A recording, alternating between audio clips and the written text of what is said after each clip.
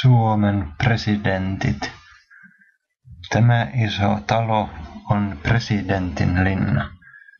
Tunnetko sinä presidentit? Tämä video näyttää meille Suomen presidentit.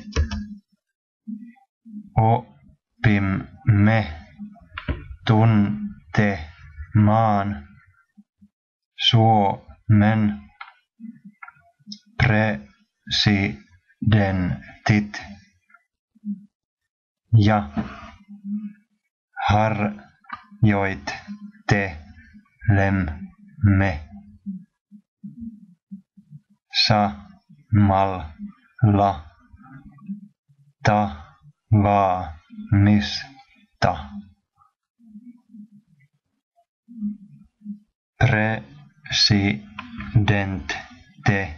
presidenttejä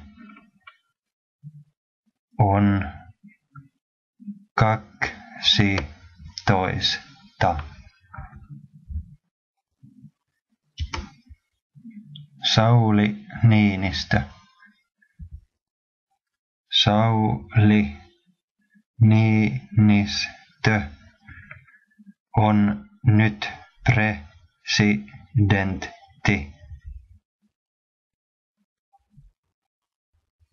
Hän tuli presidentiksi vuonna kaksituhattakaksitoista. Tarja Halonen. Tarja Halonen oli Suomen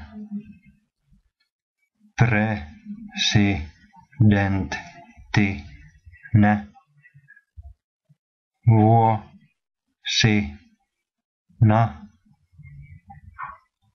kaksituhatta viiva kaksituhattakaksitoista.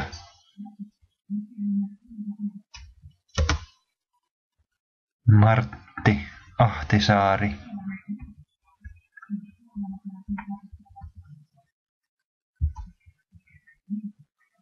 Mauno Koivisto.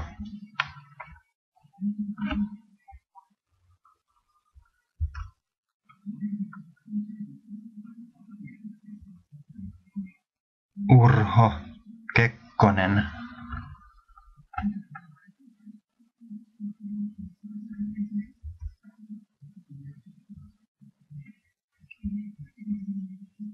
Juho Kusti Paasikivi